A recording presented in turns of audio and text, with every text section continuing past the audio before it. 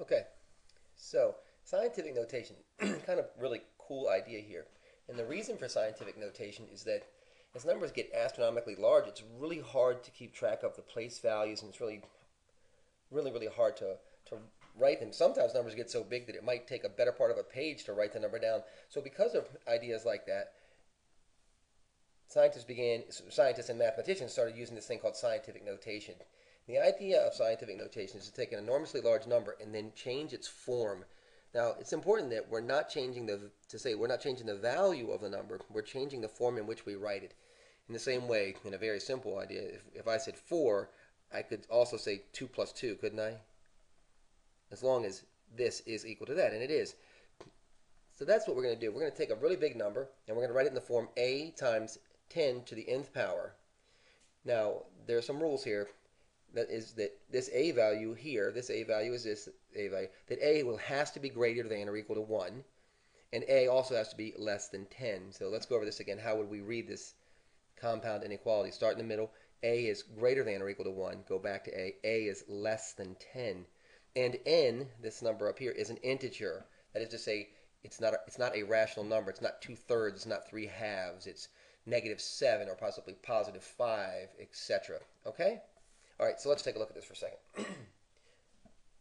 we're going to take our number here. We're going to take 65,900 times 10 to some power here is going to equal, has to be equal to 65,900. So I think it's true to say right now that if we had 10 to the 0 power, well, 10 to the 0 power is worth 1, isn't it? And this times 1 would equal that, wouldn't it? But we're trying to stay inside this rule, and we're saying that A has to be less than 10, and 65,900 is not less than 10. So what I'm going to do here, so I'm going to move, take the, we know that the decimal point is here, don't we? Our decimal point is here. I'm going to move it over one place to the left. And as I move it to one place to the left, I'm going to increase the value of n by 1. And believe it or not, this times this would still equal that. But this number is still not.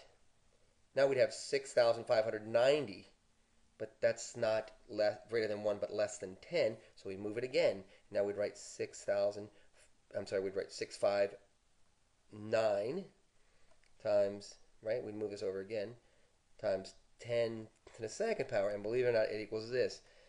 Now, some of you are sitting there going, what in the world is he talking about? So let's just go prove it for a second. Okay, let's skip over to our calculator for a second and prove that this is happening. What I'd like to say to you is, is this. At some point, at some point, I'm going to move this thing over far enough I'm going to move it over once, twice, three times, four times, I think.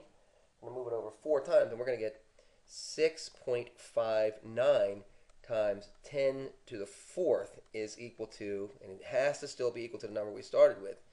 And I think that this will be in scientific notation. Right now, we're not, uh, in the process here, we're not in scientific notation yet. At the end, when we get here, this will be in good scientific notation. Look at this for a second. Isn't it true that 6.59 is greater than or equal to 1 and less than 10, right? And I just keep increasing this. Let's look at this with a calculator. It's a lot easier to see. So I started off the first one, the, the first proof. We took our number, 6, uh, 65,900 times 10 to the 0 power. And lo and behold, it was that number, right? And now I'm saying to you, what I want to do is this. I want to move this place, this thing over. Let's see if I can show you what I'm doing here. So what I'm going to do is the decimal place is right here, isn't it? Decimal place is right here, isn't it? I'm going to move it over to here. So now what I want to type in when I go back to my calculator, I want to type in 6,590 times 10 to the first power. And I'm hoping that when I do it, it's still going to equal 65,900. So let's see if that does work. So I'm going to move the decimal point over, so it's 6590. It was 00, zero, right? Now it's just 0 times 10 right, not to the zero power. We move this to the left, so we're going to increase this by 1 to the first power. Oh my gosh, you see what I did? I didn't raise it to the first to the first power. I multiplied it by 100. I kind of freaked out there for a second. Let's do it again. 6,590 times 10 to the first power. That's what I meant to say. And that does work. Wow, kind of freaked myself out for a second. Okay, good for me. Want to do this again. I want to now I want to move it over again because this number is still not less than 10, and it has to be. So I'm going to move this over again to here, and I'm going to have 6,000, uh, sorry, 659, right, times 10 squared. And I'm hoping, again, that when we hit enter, the calculator is going to give us this value. Again, let's see if that doesn't work. So I move the decimal point one place over to the left. That gives us 659 times 10 squared. And look, the number is still staying the same, except for this one mistake I made up here where I typed the wrong numbers. And the number, it's working, isn't it? But remember, this number right here, I have to keep moving the decimal point until I get the decimal point is less than 10, greater than or equal to 1. So I have to move it again.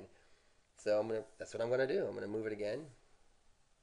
And I'm going to move the decimal point over one more place, right? Now I'll get 6, I'll get 65.9, and I'm going to raise this, right? So I'm going to have 65.9 times 10 to the third power. And I know I'm going to, I believe I'm going to get this number back again, aren't I? I'm going to get 6,590 back here again. But remember, scientific notation says this number, this A value, has to be greater than or equal to 1, less than 10. And 65 is greater than 1, but certainly not less than 10. So let's see what happens. So 65.9, and I said times 10 to the not second power, but the third power. You see, as, I, as I'm moving the decimal point to the left, you see the, the exponential value keeps increasing by 1, and hit enter. And look, there's our number again.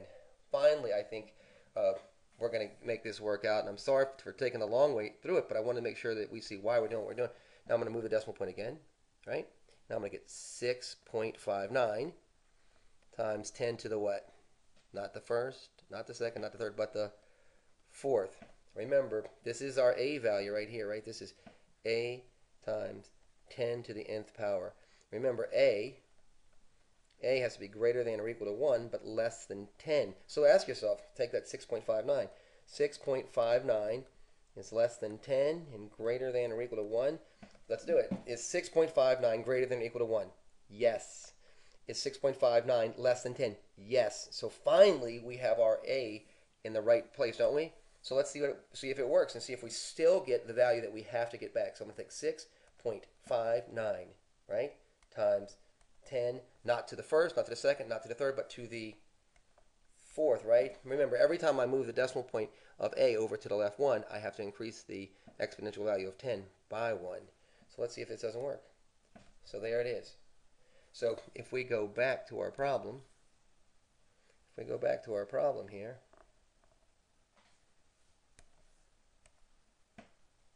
Isn't this what we thought we were going to get, right?